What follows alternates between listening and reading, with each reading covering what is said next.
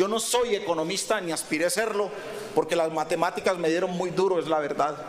Siendo esa la primera ruta o el primer elemento o el primer camino para avanzar, para entender esa ciencia tan compleja. Pero conozco abajo, a donde se tiene que dirigir la política pública. Quiero ver solo a uno de esos cuadros que reposan en planeación nacional que conozca este país como yo lo conozco.